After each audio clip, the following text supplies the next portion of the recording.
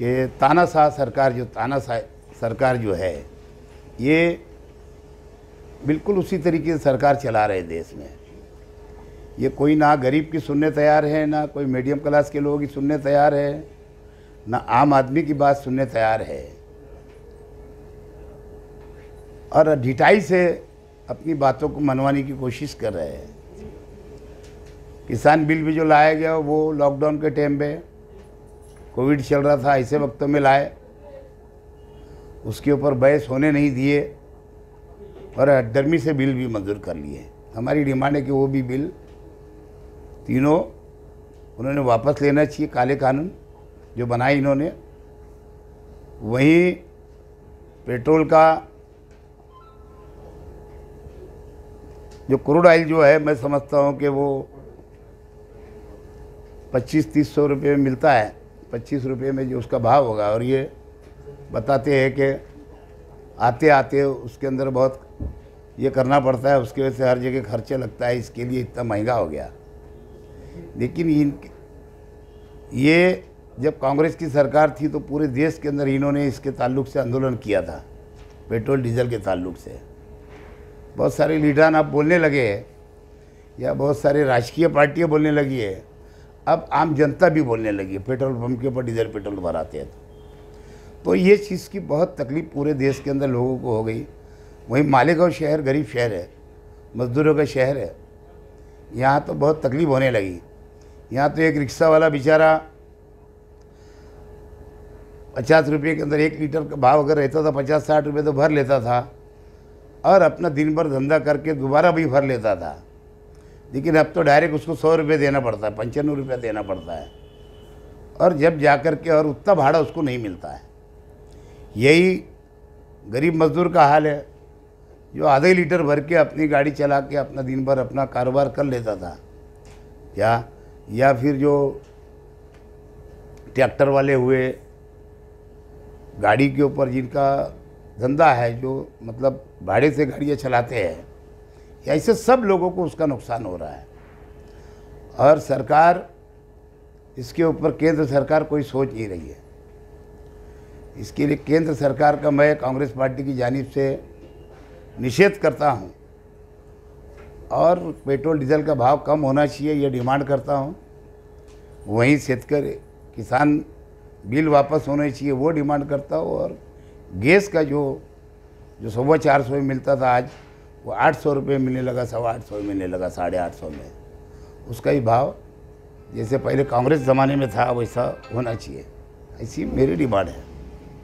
और इसी को लेके, जुमेरात के दिन, साढ़े तीन बजे, यानी तीन बजे कांग्रेस पार्टी ऑफ़िस के नीचे से, हम पास संचार बंदी का ख्याल रखते हुए, कानून का पालन करते हुए क्योंकि कोविड का मुंबई में, पूना में, अमरावती में, अकोला में, नागपुर में बढ़ रहा है।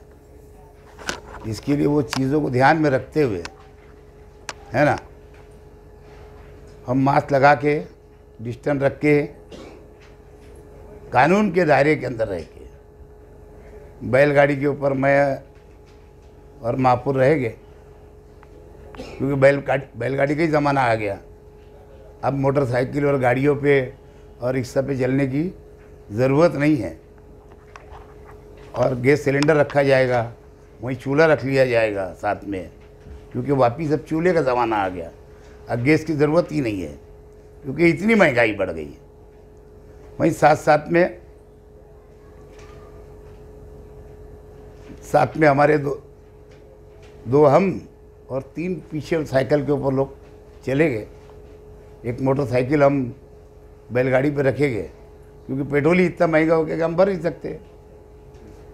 तो इस तरीके से हमारा आंदोलन तीन बजे कांग्रेस पार्टी के ऑफ़िस से हम निकलेंगे और प्रांत कार्यालय के ऊपर वो हम ले आकर के अपना निवेदन देंगे। ये मैं के नुमाइंदे हैं। मैं भी दस साल आमदर था मेरे सामने तो कोई पुलिस वाले की ज़रूरत नहीं की मारने की। तो इस पे आप क्या कहना चाहते हैं कि पुलिस का क्या रवैया वो तो ऐसा है कि वो आमदार को और पुलिस को पूछना चाहिए। मैं क्या बोलूँ उसके बाद आपका क्या कहना है कि आप अवामी मैंने बोला ना हाँ, कि मैं भी दस साल अंदर था मेरे सामने कोई पुलिस वाले की ज़रूरत नहीं है मारने की। एक कार्यकर्ता को नहीं मारे हो तो मेंबर था जिसको मारे। हाँ? हो सकता उन्होंने बोल दिया कि मारो। कुछ तो भी हो सकता ना। हाँ पॉसिबल है ना। इतनी हिम्मत पुलिस वाले नहीं कर सकता, अंदर बैठा और उसके सामने मार दे चाहे वो पीआई हो, एपीआई हो, कांस्टेबल हो, हवलदार हो। मैं तो बोल रहा मेरी मिसाल दे रहा दस साल आप लोगों ने देखे ना मेरा टाइम। फिर? उनके वालिद मोहतरम जो है है ना? उन्होंने कभी बुज़ुर्गों का एहतराम नहीं किया। काजी अब्बास अली साहब जो थे बुज़ुर्ग रहनुमा मरहूम उनका जो भी लेन देन होगा उनके घर पे गए थे तो उनको गाली गलोच और उनके ऊपर हाथ छोड़ दिया गया था। तो ऐसे अनेक वाक़े उनके वालिद मोहतरम के शहर में। तो ये उनकी औलाद है। अब इसके बारे में क्या ज़्यादा बोले?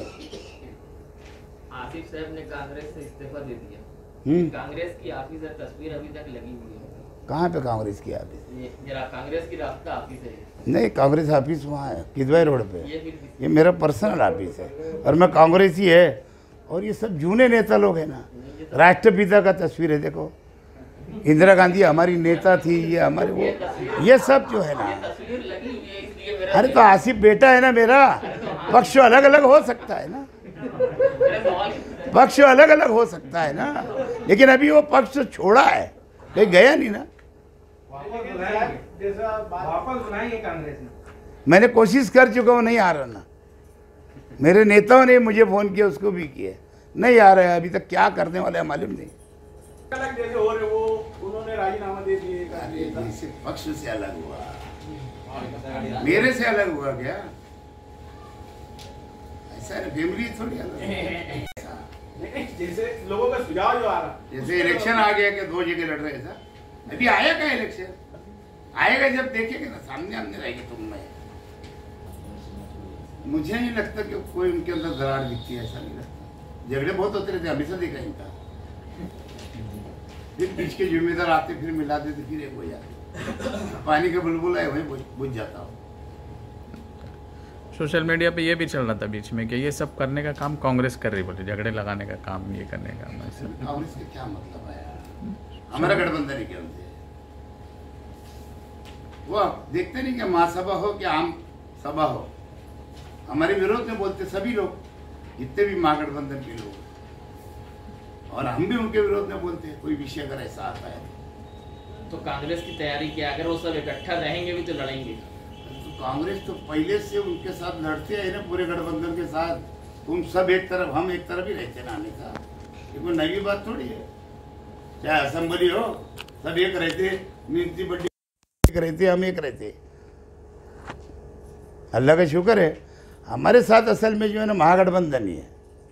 हमारे साथ जो है, शहर की जनता है, शहर के कार्य करते हैं, हमारे ज़मीन पर काम है। अब तुम देखो ना, हम जब भी हमारी आम सभा रहेगी या माँ सभा रहेगी, हम काम की बात करते हैं। और ये आते हम पे इल्ज़ाम लगाने की बात करते हैं। ये अपना काम बताते कि मैंने ये काम किया। मैंने ये लाया, मैंने वो लाया। ये ज़मीन पे मेरा काम है। हम तो डंके की चोट पे हारून अहमद अंसारी के टाइम से लेके हाजी शब्बीर अहमद, आशा मेरे टाइम तक, या आसिफ टाइम तक। हम तो डंके की चोट बोलते कि हमने ये किया। ये लोग बोलते कि तुम क्यों नहीं पूछते उनसे? यार तुम खाली इल्ज़ाम तराशी करते, तुम काम बताओ तुम्हारे कि तुमने क्या किया आप लोग को अधिकार है। पत्रकार है आप लोग। आप लोग पूछ सकते हैं ना कि आपने क्या काम लाया। अभी बताओ कि यहाँ पे डिविजनल कमिश्नर तरफ़ मीटिंग थी, पालक मंत्री की मीटिंग थी, आमदार गैर हाजिर थे। तुम में से किसी ने पूछ लिया कि यार तुम गैर हाजिर है। तो बोले, यार, बहुत ज़रूरत की बात थी। पाँच करोड़ रुपये मैं टोपे साहब से लाने गया था। अब ये हज़रत को मालूम है क्या? कि शेख रशीद के टाइम से और आसिफ के टाइम से वहाँ पे महिला हॉस्पिटल और बच्चों का हॉस्पिटल मंजूर है। और ये जो स्कीम जो केंद्र सरकार की है यूनिवर्सियम वो स्कीम का पैसा है वो। चालीस करोड़ रुपये मंजूर है उसके लिए। वो स्कीम से वो वो वहाँ पे सिविल हॉस्पिटल के बाजू में दोनों हॉस्पिटल बनने वाले हैं। अब ये बस लेटर देते पाँच करोड़ मंजूर। लेटर दिए बोले, पाँच करोड़ आगरा के लिए मंजूर। तो हम तो ऐसा नहीं बोलते ना खाली मंजूर। है ना हम ये बोलते हैं कि हमारे काम ज़मीन पे। कल जैसे महासभा स्टैंडिंग के अंदर हमारा तेरह करोड़ का काम स्टैंडिंग मंजूर हुआ। अब मैं बोलते तो कई दिन से आ रहा था। अब वो पाए तक, मिल तक पहुँचने जा रहा है।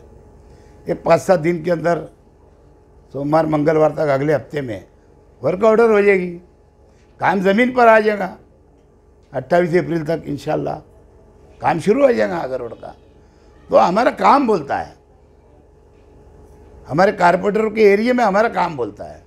हमारे असम्बली के काम बोलते हैं। हम खाली हवा हवाई बात नहीं करते। इसीलिए तो बोला कि वो हमेशा हम पे इल्ज़ाम तराशी करते हैं। लेकिन आप पूछो उनसे कि तुम्हारे ज़मीन पे क्या काम है? तुमने क्या लाया आज तक? पाँच साल आमदर रहे, कुछ लाए? अभी डेढ़ साल से आमदर है, कुछ लाए? कभी नहीं कर सकते इनका काम ही नहीं काम करना। वो वही नहीं कि क्या शेर है वो? इनका? उनका ही शेर है वो बोले। का हाँ मेरा तेरी रहमतों का का सरेआम चल रहा है है मेरा काम चल रहा है। इनका काम चल रहा है भीख मिल रही है और मुझे काम चल रहा है। ये अजीब बात है। ये समझे क्या? वो भांजे ने मुफ्ती डिग्नेडी ने। हाँ। अब उसकी कोई स्टाइल होगी बोलने की मैं क्या बोलूँ उसकी? क्या उनको इन्हें मतलब एड़ा बनाती है पुलिस? अरे क्या मालूम पुलिस और आमदर साहब मिल के दोनों सबको एड़ा बना रहे हैं। हाँ? ऐसा भी तो हो सकता ना। चलो ठीक है टाइम देखो लिंक पूरे गाँव को बना दिया ना यार बन रहे हैं नए गाँव। अब जैसे कुछ लोग आ जाते हैं हमारे पास काम लेके है ना? कुछ लोग हमारे पास काम लेकर आ जाते हैं। क्या समझे? तो अपन कभी अगर बोलो कि यार देखो अभी हम प्रतिनिधि आसिफ आमदर नहीं है, मैं आमदर नहीं है। तुम आमदर साहब को लेके चले जाओ। वो क्या बोलते मालूम? बोले, यार उनसे होगा क्या? तो मुझे बड़ा ताजुब लगता। मैंने यार आप लोग उनको चुन के भी लाते और आप लोग बोलते हैं कि यार उनसे होगा क्या? ये बात मतलब मेरे समझ में नहीं आती। तो प्रतिनिधि चुनते क्यों ऐसा? राजधानी राजधानी राजधानी राजधानी